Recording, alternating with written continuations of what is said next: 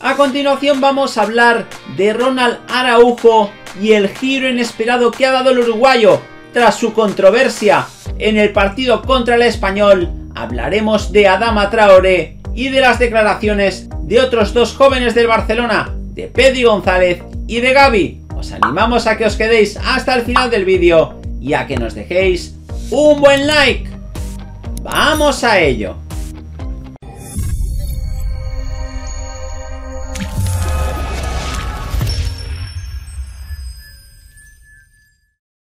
Hola de nuevo gente, ¿cómo estáis? Bienvenidos a un nuevo vídeo de Objetivo Gol. Vamos con la última hora del Barcelona y vamos a hacerlo con varias noticias. Por tanto, sin más dilación, vamos con la primera de ellas y es que Ronald Araujo, tras sus palabras ayer durante el partido contra el Español, ha reflexionado y ha pedido perdón. No ha sido una gran noche para el Fútbol Club Barcelona y el empate ante el Español tiene que ser un llamado de atención para todo el equipo, incluido el staff técnico para no volver a repetir una actuación que dejó más dudas que certezas para los azulgrana y que definitivamente les bajó de la nube que había significado la convincente victoria ante el Atlético de Madrid el pasado fin de semana. Es hora de reflexionar y poner las cosas en perspectiva. Pero la historia va mucho más allá. La actitud del equipo no ha sido la acertada, sobre todo en el tramo final del enfrentamiento, desde el enfrentamiento de Gerard Piqué con Melamed hasta la lamentable reacción de Ronald Araujo contra la afición del club Perico. El Charrúa perdió los papeles en el descuento del partido y mandó al español a segunda. Horas después del partido ha tenido que recular y pedir perdón a la afición. En un mensaje publicado en sus redes sociales, Araujo comentó que quiero pedir disculpas a toda la gente del español por el gesto desafortunado que tuve esta noche. Todo ha sido fruto de la tensión vivida durante un derby tan disputado como el de hoy. Escribió, me considero una persona respetuosa con las aficiones y clubes rivales, y por eso no me siento orgulloso de lo ocurrido, sentenció. De seguro el central ha recibido un llamado de atención en el vestuario, puesto que Xavi Hernández se mojó al respecto en la rueda de prensa posterior al partido, aunque no tenía mucha información al respecto. No lo he visto, tenemos que respetar al contrario, al árbitro, a la afición rival. Hay que ser respetuoso siempre, pero la tensión te puede a veces. Pero pido perdón, si ha pasado eso. No puede pasar, explicó el entrenador egarense. La visita del Fútbol Club Barcelona a Cornellà no ha sido positiva para el Fútbol Club Barcelona, mucho menos para un Araujo que, además de su gesto desafortunado con la afición, terminó lesionado y no pudo completar el enfrentamiento. El central fue sustituido en el descanso por unas molestias y Eric García ingresó al campo para reemplazarle. El ex del Manchester City tampoco tuvo su noche. El caso es que Araujo está pendiente de nuevas pruebas para conocer el alcance de las molestias que sufrió contra el español que le obligaron a ser sustituido. El jugador del primer equipo R, Araujo, tiene unas molestias en el sóleo de la pierna izquierda. Pendiente de pruebas para saber el alcance de estas molestias, informó el Barça en un comunicado médico emitido durante el partido. Por tanto, esto es lo que ha pasado alrededor de la figura de Ronald Araujo. Vamos a hablar ahora de uno de los más destacados del partido, de Adama Traoré, que volvió a brillar, en este caso contra el español. El Fútbol Club Barcelona no tiene nada o muy poco que celebrar del empate contra el RCD Español de este domingo.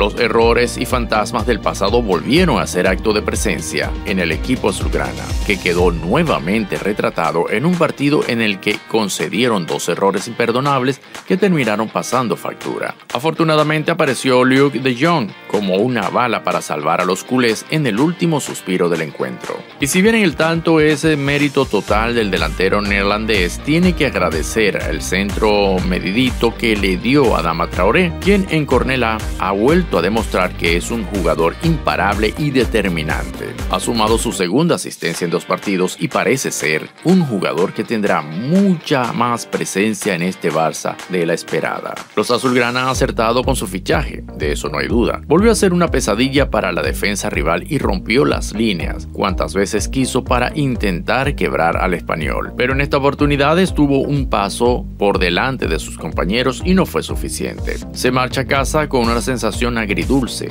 pero con una actuación más que destacable que deja claro que va a tener mucha incidencia en este Barça. En sus 90 minutos sobre el terreno tuvo tres remates, uno a puerta, pero se destacó por ser el generador de todo el peligro del Barça en el campo. Volvió a ser la pesadilla de la defensa rival y se atrevió a disparar directamente a la red, aunque apareció un muy seguro Diego López para evitar que celebrase su gol. Al cuarto de hora los azulgrana avisaron con un balón un largo de Araujo a la espalda de la saga local. Adama recibió en la banda, burló a Pedrosa y se marchó hacia el área para enviar un disparo raso que se marchó desviado. Sin embargo, su aparición más importante llegó en la última jugada del partido. En el 90 más 6 apareció por una banda para centrar el balón en el área de Diego López. La puso precisamente entre los dos zagueros del español y apareció como una bala Luke de Jong para rematar. Tras un buen desmarque, metió la testa a la altura del punto penalti, batió al guardameta Perico y dejó el resultado en tablas. Vamos a hablar ahora de Gaby y es que el canterano apunta muy alto en la liga a pesar del empate de ayer. El Fútbol Club Barcelona consiguió rescatar un punto que bien se puede considerar de oro en el campo del español tras el agónico gol de Luke de Jong en el tiempo añadido de la segunda mitad. El partido fue intenso de ida y vuelta y finalmente ninguno pudo materializar la victoria. Este punto fue puesto en valor por buena parte de la expedición azulgrana, no siendo menos Gaby, el cual le anularon un gol en el minuto 56. Entre otras cosas, también se mostró satisfecho por su progresión. Estoy trabajando mucho para estar en forma. Hacía dos meses que no jugaba y estoy dando lo mejor para coger la forma. Las cosas están marchando bien y el equipo me ayuda mucho. Era importante no perder el partido. Hemos perdido algo de control en la segunda parte, pero ellos apretaron mucho. Si controlamos los partidos nos irá mejor. Haré lo mejor que pueda donde me ponga el Mr. Xavi. Sabe que soy interior, pero donde me ponga voy a ir tope. El canterano había vivido muchos derbis en las categorías inferiores y admitió que con el primer equipo es muy diferente, la afición aprieta mucho. Pese a que el empate se entiende como un paso menos en la lucha por una liga en la que hace tiempo que el Barça no aparece competidor, el canterano se mostró reticente a esta opción. Estamos convencidos de que podemos. Nuestro objetivo sigue siendo ganar la liga. Y ya para acabar, vamos a hablar de las palabras de Pedri González ayer al finalizar el partido el derby entre el español y el Barcelona terminó de la forma más frenética posible, con dos expulsiones en el tiempo añadido y empate 2-2. En el último suspiro gracias al tanto de Luke de Jong. El primer gol de los azulgrana fue obra de Pedri que habló ante las cámaras de Movistar La Liga. Aunque los de Xavi Hernández iban por detrás en el marcador en los instantes finales del partido, el canario no se mostró satisfecho con el resultado definitivo. Creo que es una decepción salir con un punto de aquí. Vinimos a por los tres. Le deberíamos haber dado mucha más calma, moverlos de lado y lado y que ellos corrieran detrás de la pelota. En muchas jugadas nos precipitamos y eso lo tenemos que mejorar para el siguiente partido, añadió el jugador culé sobre el papel del equipo. Pedri también habló sobre la locura de los últimos minutos y las amonestaciones por doble amarilla a Nico Melamed y a Gerard Piquet. Un derby siempre se vive al 100%. Las expulsiones las determina el árbitro y yo no me meto ahí, que sea lo que diga él. Por último, el mediapunta se mostró sereno cuando fue cuestionado sobre si el objetivo del Barcelona podría ser el optar por el título de la liga o, por el contrario, conformarse con los puestos de Champions. Siendo el Barça, tenemos que pensar en sumar de 3 en 3 y mirar hacia arriba, sentenció. Nada más por el momento, como siempre animaros a que os suscribáis al canal para seguir viendo todos nuestros vídeos.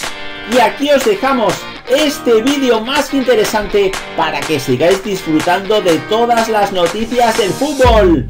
¡Hasta la próxima!